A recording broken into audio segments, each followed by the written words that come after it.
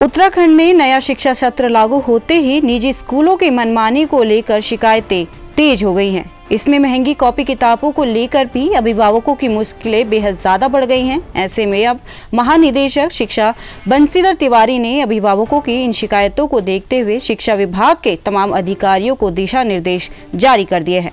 महानिदेशक शिक्षा की तरफ़ से शिक्षा विभाग के अधिकारियों को निर्देशित किया गया है कि वो इन स्थितियों को देखने के लिए खुद निरीक्षण पर जाए और स्थिति को अपने उच्चस्थ अधिकारियों को भी बताएँ। इसके अलावा ये भी साफ़ किया गया है कि शिक्षा विभाग के अधिकारी अभिभावकों से भी समन्वय बनाएँ, उनकी समस्याओं को भी सुने। इस दौरान अभिभावकों की तरफ़ से दी जाने वाली शिकायतों पर भी कार्रवाई करने के निर्देश दिए गए हैं।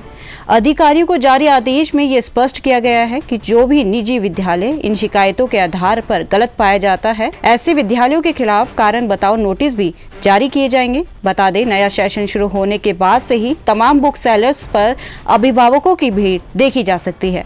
इस दौरान शिकायतें ये भी मिल रही हैं कि विद्यालयों की तरफ़ से महँगी किताबें लगवाई जा रही है। आदेश में स्पष्ट किया गया है कि हाईकोर्ट ने पूर्व में जिस तरह आईसीएसआई विद्यालयों को छोड़कर बाकी निजी विद्यालयों के लिए एनसीईआरटी की बुकों को लगाने से जुड़े निर्देश दिए हैं। उसके आधार पर नियंत्रण आदेशों का पालन करवाया जाए। तो वहीं अब आपको बता दें कि उत्तराखंड में जिन लोगों की हाई स्कूल और इंटरमीडिएट के प्रमाण पत्रों में गलती थी, उन्हें सुधारने का मौका अब लोगों को दिया जाएगा।